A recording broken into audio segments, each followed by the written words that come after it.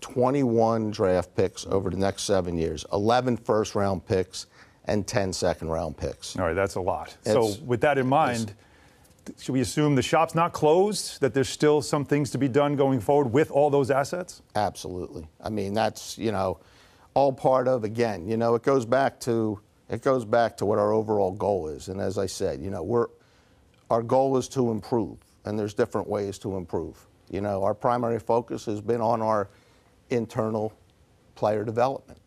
We're, we're very happy with what our guys have put in this summer. We're very happy with the development that we've seen in our young players, as evidenced by the deal that we did with RJ, the deal that we did with Mitchell.